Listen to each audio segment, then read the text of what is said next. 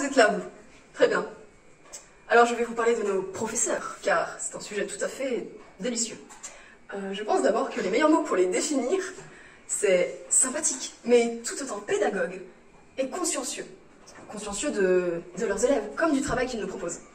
D'ailleurs, ils ont toujours été présents pour nous, pour nous aider, pour répondre à nos questions, pour nous suivre dans notre travail, que ce soit par mail ou par téléphone, en présentiel, fabuleusement.